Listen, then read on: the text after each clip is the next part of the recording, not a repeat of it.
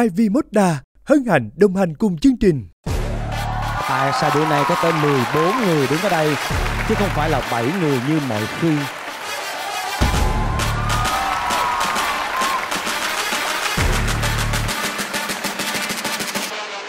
Em thường nhỏ này hát xong bảng điểm hiện lên mấy điểm? Em bấm qua bài không có chấm điểm mà Hay! Hay Ôi bắn ngủ rồi bắn ngủ kìa bắn ngủ kìa. Ta liếc kìa ta quay qua kìa thấy không? Kìa liếc kìa. Ờ. thôi bớt vô duyên lại bớt vô duyên lại. Đi về đi về đi về. Lời nói không có giá trị. Ờ xin đưa về tháo điền. Quần 2 Số 2 nhìn là biết rồi, số 2 là những đầu óc đơn giản chọn. Một cái tát nha quý vị. Tình yêu là thế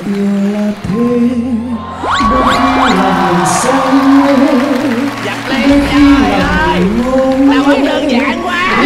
Ôi vậy đơn giản ôi vậy ôi vậy NANI ôi vậy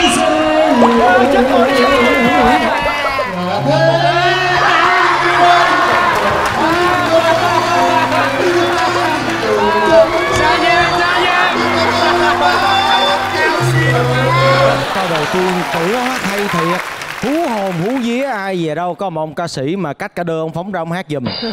Tại vì người ta nói bên này đầu óc đơn giản đó anh.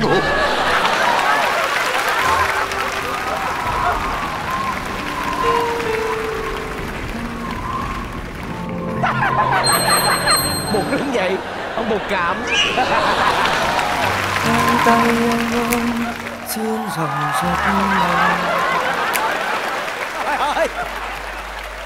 Ủa?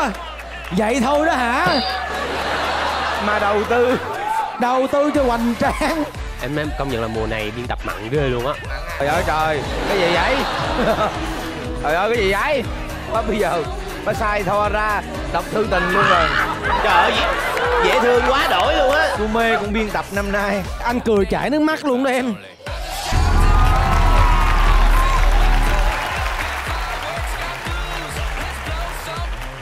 làm có mệt không? Dạ không anh, được làm nhân viên ở Trường Yến là em thấy vui lắm rồi. Ê sao tôi mê con biên tập này quá à? Trời ơi không có dàn dựng gì hết trơn. Không hề diễn xuất luôn nha anh. Hay. không có diễn không có diễn luôn. Giang hỏi tôi đi. Em em làm trong này em thấy sao? Được làm việc trong sự yến là em vui sướng lắm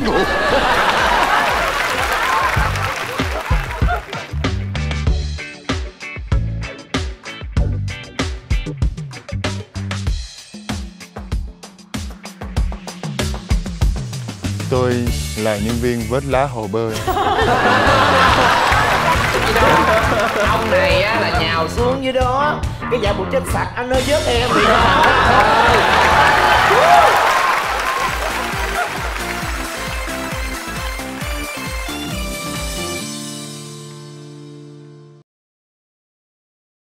Ivy Moda hân hạnh đồng hành cùng chương trình.